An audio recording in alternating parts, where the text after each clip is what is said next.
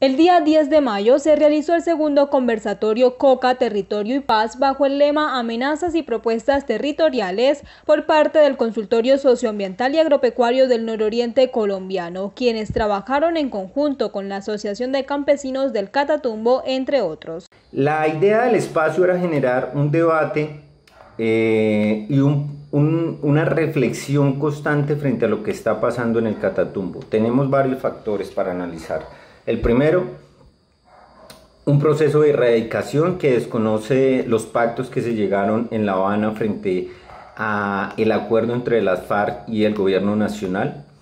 Tenemos una movilización social bastante fuerte, eh, defendiendo un poco, digamos, el sustento de las familias que se da a través del cultivo de la coca como única opción.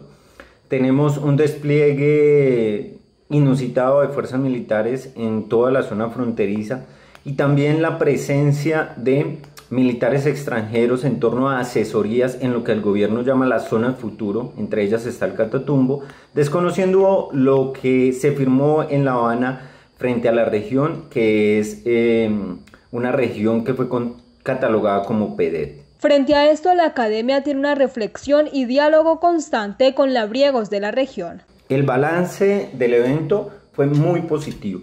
Contamos con presencia de universidades hermanas eh, como la Universidad Simón Bolívar, la Universidad Libre, eh, hubo presencia también de la Universidad Pedagógica y Tecnológica de Colombia y también de la Uniboyacá, profesores, estudiantes, pero también algo muy valioso, gente de movimientos sociales de otras regiones del país.